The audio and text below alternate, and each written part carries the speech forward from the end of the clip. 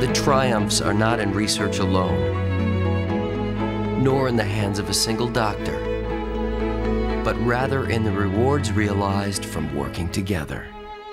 That's the Michigan difference.